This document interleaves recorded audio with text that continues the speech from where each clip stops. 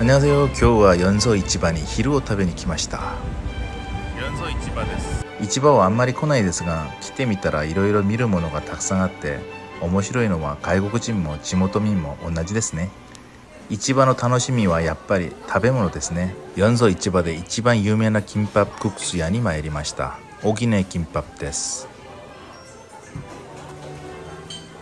全席カウント席ですので一人食事も OK です メニュー見ててびっくり。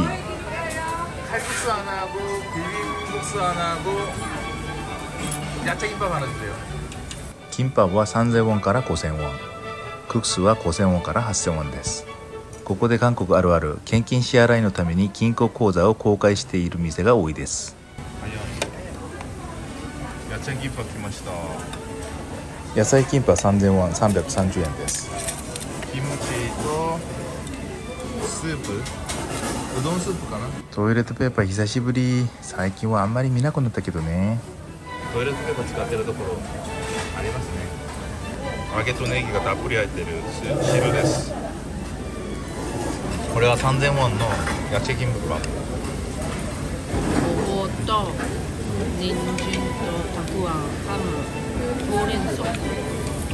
いただきます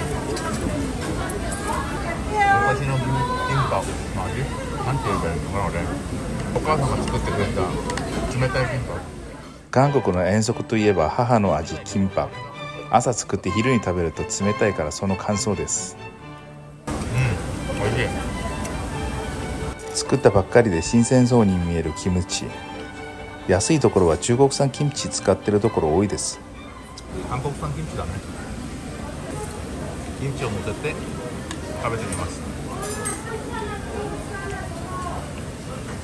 みんなが想像できる味美味しい味です。グスが出る前にすぐ食べちゃうね。ビビングスが出ました。ビジュアル見てわあ美味しそう。汁がいっぱいですね。ゆで卵半分。野菜。きゅうりとヨルム。大根の葉っぱ。大根。混ぜて出てくるので食べやすい。と麺が太いよ。これはそうめんじゃなくて中麺ですね。いただきます。韓国人としては全然辛くないビビングスだけどちょっと甘酸っぱい味ですね。美味しい。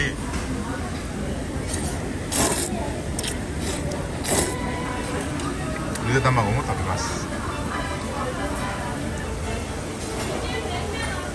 エアコンがあります。なんで暑くないんだろうと思った。けどエアコンがありますね。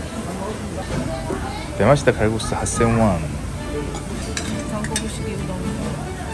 カルグスは麺が太いからビビングスよりだいぶ時間かかりましたね。胃に優しい。胃に優しい落ち着く味。ビビングスクリアしました。美味しかったですツナマルキンパテイクアウトします。カルグスもクリア店はこんな雰囲気です。では市場見物しながら帰りましょう。豚足売ってます。これは私も食べれない保護めっちゃ臭いもの。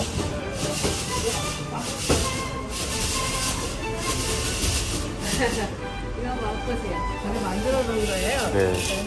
試食してみますこれが一番楽しみですね 얼마예요? 만 원입니다 네 감사합니다 네. 예 안녕히 네. 4新根の2番出口4新根2番出口に出て行きますまっすぐに行きます 左にこの看板が見えたらここが入り口です。これまっすぐにいたら出てきます。キムチ。お腹いっぱいですので市場内散歩でもしながら帰ります。何これ。また次の動画で会いましょう。餃子三ムギ